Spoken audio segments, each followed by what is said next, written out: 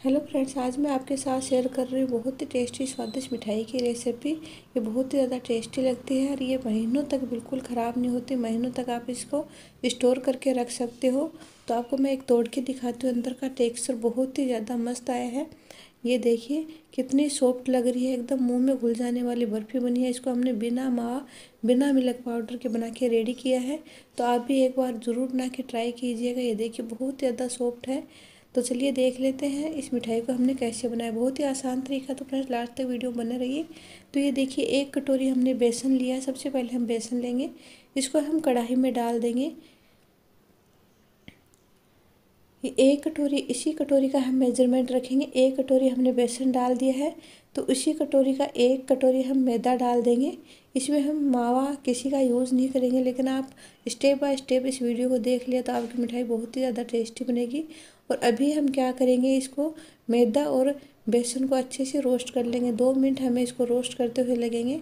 तो लगातार चलाते हुए गैस को एकदम मीडियम लो फ्लेम करके आपको दो मिनट रोस्ट कर लेना है। तो ये देखिए, दो मिनट हो गए हैं।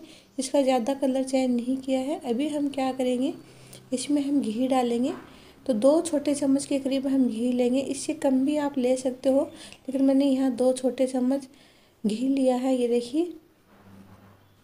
अगर आप एक चम्मच डालना चाहते हो तो इस टाइम आप एक चम्मच घी भी डाल सकते हो, लेकिन मैंने यहाँ दो चम्मच घी का यह है। इससे बहुत ज़्यादा सॉफ्ट और एकदम मावा जैसा टेस्ट आएगा। आप घी कम भी कर सकते हो, तब भी मिठाई बन जाएगी, लेकिन इतना अच्छा टेस्ट नहीं आएगा तो लेकिन दो छोटे चम्मच हमने इसमें घी के डाल दिए हैं। और इसको लगातार चलाते हुए अच्छे से मिक्स कर लेना है हमें। तो फ्रेंड्स कोई झंझट नहीं है। यहाँ मैंने इसको फास्ट मोड कर दिया है ताकि हमें इसको 10 मिनट अच्छे से रोस्ट करना है। ऐसे चलाते हुए हमें 10 मिनट रोस्ट करना है इसको, तब अच्छे से ये बेसन हमारा अच्छे से पक जाएगा। टाइम देख के आपको रोस्ट करना है। गैस को मीडियम लो फ्लेम में रखना है। मैंने इसमें बीच में वीडियो को बिल्कुल स्किप नहीं किया है। फास्ट मोड कर दिया है। तो आपको अच्छे से दिखा पाऊँ। तो ये देखिए, दस मिनट हो गए हैं और ये बेसन और मैदा घी को रिलीज़ कर दिया है और एकदम फिर से ही गीला हो गया है। अभी हम क्या करेंगे, ये मैंने दूध में थोड़ा केसर भिगो दिया था गर्म दूध में और ये इसमें हम डाल देंगे। इसे बहुत ही अच्छा कलर आएगा और बहुत ही अच्छा फ्लेवर आएगा। तो फ्रेंड्स, अगर आपके पास केसर है तो आप डाल सकते हो, नहीं तो स्किप कर सकते हो। ज़रूरी नहीं है कि हम केसर डालें तो आप भी डालें, लेकिन ये मेरे पास पड़ा था, मैंने इसमें डाल दिया है इसको अच्छे से मिक्स कर लेंगे। ये दूध वाला स्टेप आप अगर डालना चाहते तो आप डाल सकते हो, नहीं तो सीधा आप इसको घी में रोस्ट करके भी बना सकते हो। लेकिन हमने इसमें दूध में केसर भिगो के इसको अच्छे चला लिया है, दूध डाल के, और इसको भी हमने पाँच मिनट अच्छे से पका लिया है। ये हमारा बेसन और मैदा का मिश्रण बन के रेडी हो गया तो इसको हम अलग बर्तन में निकाल लेंगे। तो ये देखिए, इसको हमने अलग बर्तन में निकाल लिया, इसको हम साइड कर देंगे, और फिर अगली तैयारी करते हैं। तो अभी हम क्या लेंगे? एक मिक्सी जार लेंगे। इसमें हम चीनी पीसेंगे। तो चीनी पीसने का कारण मैं बताती हूँ कि मेरे पास इलायची पाउडर नहीं है तो चीनी मैं साथ में पीस लूँगी। तो इलायची अच्छे से पीस जाएगी। तो मैंने डेढ़ कटोरी चीनी का लिया है। आधा कटोरी और डालती हूँ। दो कटोरी हमने बेसन और मैदा का था। तो उसी का कटोरी का डेढ़ कटोरी हमने इसमें चीनी ले लिया है। पाँच छः इसमें हम इलायची डाल देंगे। इसी के लिए मैं ये चीनी पीस रही हूँ। नहीं तो कोई ज़रूरत नहीं है चीनी पीसने का। तो ये इलायची चीनी के साथ अच्छे से पीस जाएगी तो अच्छे से हमें इसको पीस लेना है। तो ये देखिए, चीनी हमारी रेडी हो चुकी है। इलायची भी अच्छे से पीस गई है, क्योंकि इलायची का बहुत अच्छा फ्लेवर आता है। अगर आपके पास पाउडर है तो चीनी को ना पीसे। और अभी हम उसी कढ़ाई लेंगे और उसी कढ़ाई में ये पानी डालेंगे। आधा कटोरी मैंने पानी लिया है। मेज़रमेंट का फ्रेंड्स ज़रूर ध्यान दीजिएगा। और ये जो डेढ़ कटोरी हमने चीनी पीसी थी, वो इसमें डाल देंगे। आधा कटोरी पानी में हम डाल देंगे।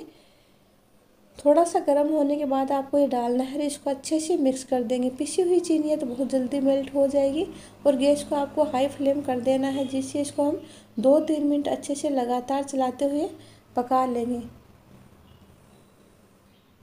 देखिए इसी को मैं चेंज करती हूँ, इससे अच्छे से नहीं हो पा रहा तो ये बड़े वाला मैंने सपटोला लिया है, इससे अच्छे से मिक्स कर देंगे।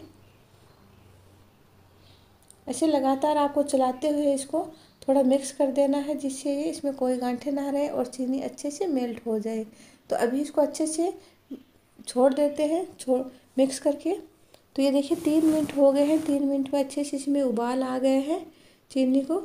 अच्छे से हमने पका लिया तीन मिनट। अभी गैस को मैंने बंद कर दिया है तो अभी हम चेक करेंगे।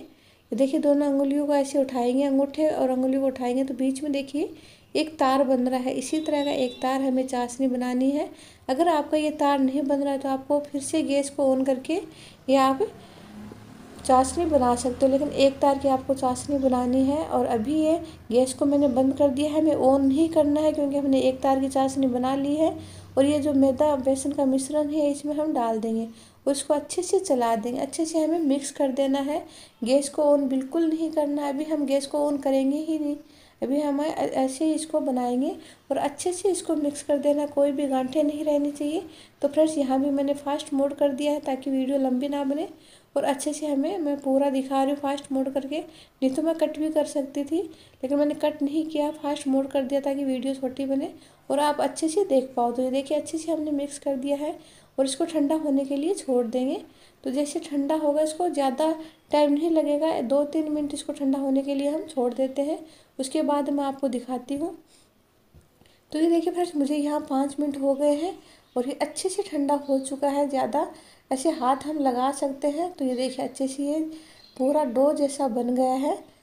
जैसे और अभी हम इसको जैसे चाशनी ठंडी होती है, वो डो जैसा अपने आप बन जाएगी। अभी ट्रे में मैंने थोड़ा सा घी से ग्रीस कर लिया है। इसी इसी ट्रे में हम इसको निकाल लेंगे। अगर आपके पास बर्फ़ी वाली ट्रे है तो आप ट्रे में निकालें, नहीं तो कोई थाली प्लेट में भी आप इसको सेट कर सकते हो।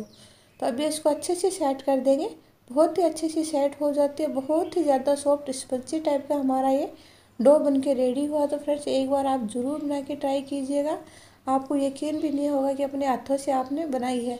चाशनी की जो हम मिठाई बनाते हैं, वो लंबे समय तक चलती है। इसमें कोई झंझट नहीं होता। और बहुत ही अच्छे से बनती है। और ये देखिए, सिल्वर वर्क मैंने यहाँ लगा दिया है गार्निश के लिए, अगर आपके पास ये है तो आप लगा सकते हो। जिससे क्या होगा, एकदम मार्केट जैसी ये दिखने में लगेगी। अगर आपके पास ये नहीं है तो आप स्किप कर सकते हो। थोड़ा सा मैं यहाँ पिस्ता डाल दूँगी। और इसको अच्छे से टूल्ला की सहायता से अच्छे से इसको सेट कर देंगे। पिस्ते को दबा देंगे ताकि ये बर्फ़ी जमने के बाद नीचे ना गिरे और इसको सिल्वर वर्क को भी अच्छे से ऐसे फैला देंगे थोड़ा थोड़ा करके, चारों तरफ़ ऐसे थोड़ा थोड़ा लगा देंगे जिससे सभी में अच्छे से आ जाए। चाशनी की मिठाई फ्रेंड जो भी होती है, बहुत लंबे समय तक चलती है और बहुत ही ज़्यादा टेस्टी बनती है। हम बिना गैस जला के मिठाई बना तो लेते हैं, लेकिन वो ज़्यादा समय तक नहीं चलती। आप इस मिठाई को एक महीने तक स्टोर करके रख सकते हो। तो इसको देखिए, मैंने पंद्रह मिनट छोड़ा है, ज़्यादा नहीं छोड़ा है, और ये अच्छे से सेट हो गए पंद्रह मिनट बाद में हम इसको कट करते हैं। तो ये देखिए मैं आपको कट करके दिखाती हूँ बहुत ही अच्छे से हमारी ये बर्फ़ी सेट हुई है। तो फ्रेंड्स, आप एक बार ज़रूर बना के ट्राई कीजिएगा। मुझे पहले, मुझे भी नहीं आती थी मिठाई बनाना, चाशनी की, लेकिन मैंने शुरू में एक दो बार बनाया तो मुझे चाशनी अच्छे से आने लगी है मिठाई बनाने चाशनी की। तो एक दो बार आप अगर चाशनी की मिठाई बनाओगे तो आपको अच्छे से आ जाएगी।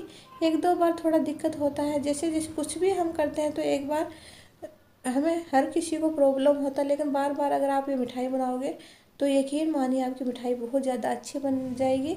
और अगर आपने वीडियो अच्छे से देख लिया तो आपकी एक बार में ही ये मिठाई बहुत ज़्यादा अच्छे से बन जाएगी। आप वीडियो को बिल्कुल स्किप ना करें और स्टेप बाय स्टेप इस मिठाई को देखिए। आप घर पे ज़रूर बना के ट्राई कीजिएगा। कोई भी फेस्टिवल पे आप इसको बना सकते हो। मेहमान आ जाए तब भी आप इसको बना सकते हो। बहुत ही ज़्यादा मस्त लगती है। स्टोर करके भी आप रख सकते हो। तो ये देखिए इसका टेक्सचर आपको मैं पास से दिखाती हूँ। और ये मिठाई बिल्कुल भी ख़राब नहीं होगी।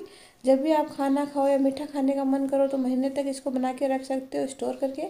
कभी भी आपका मन करे, आप इसको खा सकते हो। बिना फ्रीज के ये एक महीने तक चल जाएगी। मैं आपको गारंटी के साथ बोलती हूँ, बिल्कुल भी ख़राब नहीं होगी और ये ऐसे ही सॉफ्ट रहेगी। ये देखिए, सभी मिठाई को हमने कट कर लिया है। अभी हम मैं फिर से दिखाती हूँ आपको, बहुत ही अच्छे से, बहुत ही मज़ेदार ये हमारी मिठाई बनी है। अब अलग ट्रे में हम फ़ोटो के लिए इसको निकाल लेते हैं। और आपको मैं एक एक करके दिखा भी रही हूँ कितनी अच्छी सी मिठाई बनी है, बर्फ़ी बनी है। एकदम मावा जैसा इसका टेस्ट आया है तो एक बार ज़रूर बना के ट्राई कीजिएगा। इस रक्षाबंधन पे, गणेश चतुर्थी पे कोई भी फेस्टिवल पे आप बना सकते हो। बहुत ही ज़्यादा अच्छी लगती है। एक कप बेसन से हमने ढेर सारी मिठाई बना ली है। पूरे घर इसको पेट भर भर के खा सकता है। एक बेसन, एक कप बेसन में तो ये देखिए, फिर से मैं तोड़ के दिखा रही हूँ। ये देखिए फ्रेंड, बहुत ही ज़्यादा मज़ेदार बनी है। तो एक बार आप ज़रूर बना के ट्राई कीजिएगा, बहुत ज़्यादा आपको टेस्टी लगेगी। तो फ्रेंड्स, अगर ये मिठाई की रेसिपी आपको थोड़ी भी अच्छी लगी हो तो प्लीज़ मेरे चैनल को सब्सक्राइब, लाइक, शेयर ज़रूर कर देना। और लास्ट तक वीडियो देखने के लिए देखने के लिए आपका बहुत बहुत धन्यवाद। थैंक यू फिर मिलती हूँ एक नई रेसिपी के साथ। तब तक के लिए बाय बाय टेक केयर